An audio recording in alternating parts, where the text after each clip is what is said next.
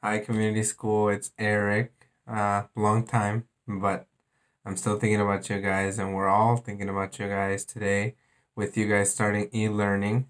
I know it's different and it's hard because you guys are at home, you guys have your snacks and video games and other stuff that you want to be doing instead of school. But remember that these days still count as days of school so you got to make sure that you stay on top of your homework assignments, check in in your classes, and if you guys don't have internet access, you guys know that some of you can still use your uh, hotspots from your phones.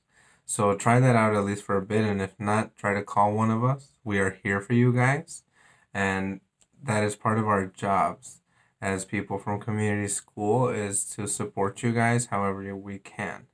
Okay, remember also that try not to go outside. I know some days are better than others, and some days are sunny and you want to go outside.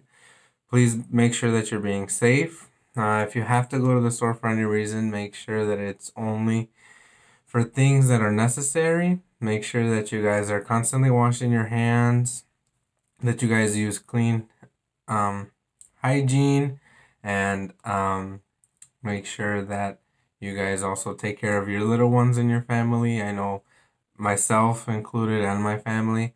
Um, we have been practicing social distancing. We don't really go out. We only go out for the necessary stuff to go to the store.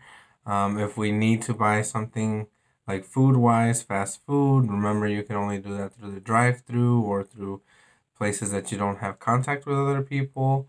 Um, we try to keep hand sanitizer, or at least try to keep clean. If remember, washing your hands is better than hand sanitizer. So if you're at home, don't worry about not having hand sanitizer. Just make sure you wash your hands.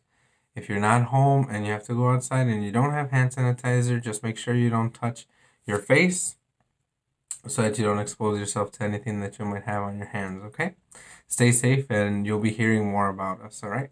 Take care.